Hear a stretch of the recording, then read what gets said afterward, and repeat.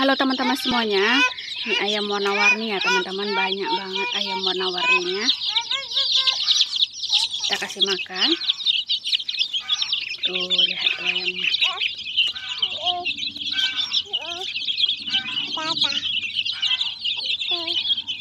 Mereka pada makan ya